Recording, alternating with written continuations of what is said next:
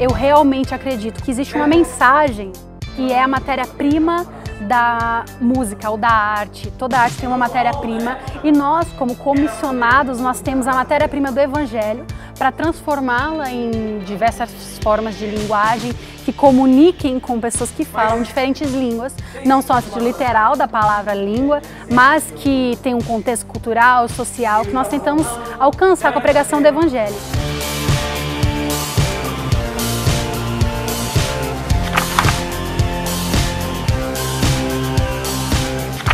Muito especial poder compartilhar a respeito disso e acreditar que as pessoas estejam utilizando a música como uma ferramenta e nós mesmos que temos o poder de influenciar através da música,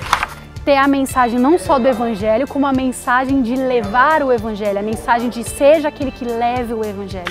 Nós somos comissionados e nós temos uma missão para cumprir aí, na qual nossa sociedade agora coloca expectativas sobre, sobre nós, a igreja, e o Senhor coloca uma expectativa sobre nós, a igreja, para sermos aqueles comissionados que vão até os quatro cantos da terra, como Jesus mesmo falou.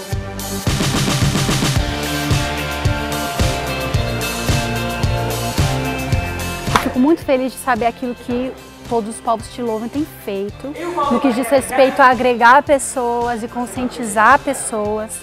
para irem até a missão. Eu fico muito privilegiada de fazer um pouco parte disso.